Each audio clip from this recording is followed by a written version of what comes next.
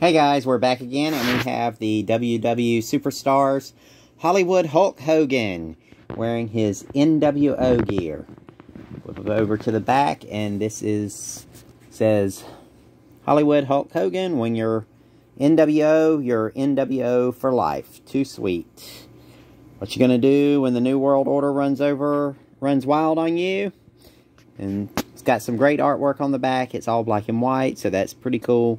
Um, it's got the other uh, figures in the line, Honky Tonk Man, Ric Flair, and Bray Wyatt. So let's take a look at the packaging. It's got a little bit of a cartoony look to the um, packaging. Um, these were made by Mattel, and they are in the Masters of the Universe Origins style. So let's take this apart. Alright. Just I don't save the packaging on these things, so that's not a big deal. But it's pretty cool that he has um, a weapon in the back. Oh, his bandana comes off and his sunglasses come off. They are held on with a rubber band. Um, his skin tone seems a little dark for Hulk Hogan to me. I remember him, but I think he was, I think he did do a lot of extra canning um, when he was doing the NWO, seri NWO series.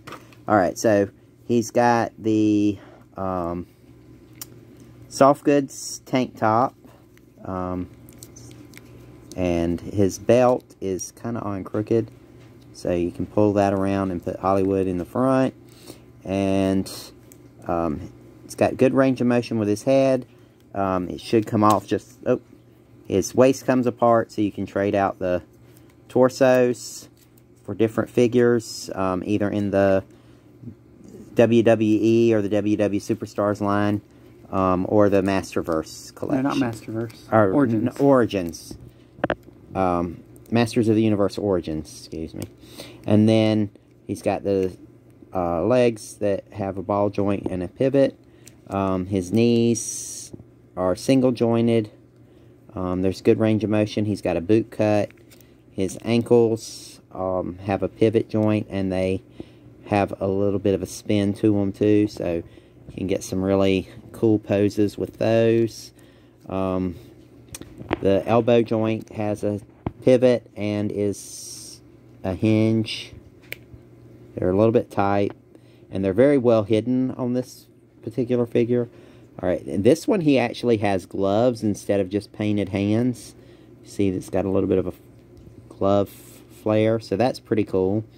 Um, I think that's the first one I've seen like that. Yeah. And then his um, wrists are painted white for the um, sweatband City War back in the day. Uh, let's see, what is his weapon? Uh, oh, he comes with a NWO belt where they spray painted the NWO on one of the other wrestling belts. It's got a lot of detail. You can almost read the older... World Heavyweight Yeah. Wrestling. So, you can almost read the belt, which is kind of cool. So, pull that out. Uh, what is in this bag? Oh, this is his extra set of hands. Okay. Okay, so let's see if we can get those open.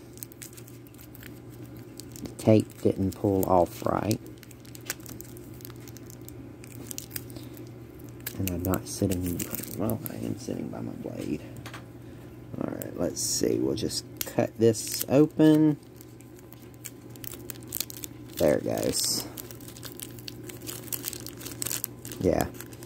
Another set of hands. Um, Alright, so let's see what the hands look like. They are actually fists. And they're gloved too, so they have the um, hinge. So when you pop out his hand, the grasping hand, you can pop it out and replace it with a gloved hand for punching. Alright. And as you can see, for pretty cool looking. Um, he'll work great with your other figures, and if you have any of the um, wrestling rings, they'll look really cool in those. Um, his shirt is soft goods, and it velcros in the front because, you know, Hulk Hogan was notorious for ripping his shirts off. So, you can kind of make it look like he's ripping his shirt off. And it's got a...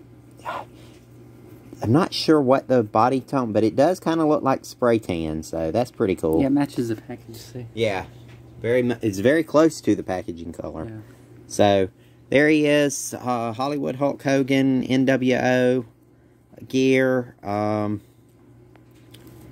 Like, comment, and subscribe. Thanks for watching.